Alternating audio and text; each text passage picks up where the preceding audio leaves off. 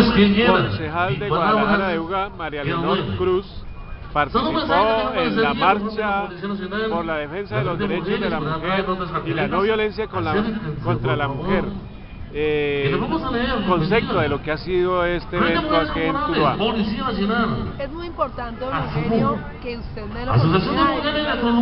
Gracias por esta gran oportunidad. Realmente estamos aquí realizando un Dice la sororidad. Rechazo No por el maltrato a la mujer. No, Además porque en Buga tuvimos una situación muy triste de miren, Dora miren, Lilia miren.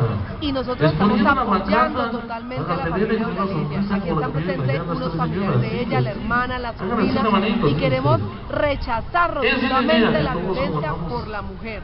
Nosotros queremos apoyar a las mujeres para que salgan adelante, que puedan triunfar en todos sus proyectos, que puedan sacar adelante a sus familias y rechazar por completo el maltrato. Eh, padres se han presentado varios casos de violencia contra la mujer, el más reciente, el de Buga.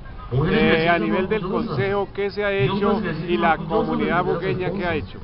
Nosotros como La concejalas de institución Buga, la 90, doctora 60, Bertelana 90, Cone y hoy yo, ya conocido como rechazamos rotundamente este hecho ¿cierto, señora, que ocurrido en días pasados en Guadalajara que y que propusimos realizar en Guadalajara una marcha, una que marcha pacífica, que solidarizándonos como que mujeres con el tema de Dora Lilia. Y llegue con Además porque abrazo. nosotras como mujeres hemos venido trabajando en el tema de la mujer de equidad de género. Que y nosotros somos erradicar. los proponentes de la algo género maravilloso donde muestran la Buga.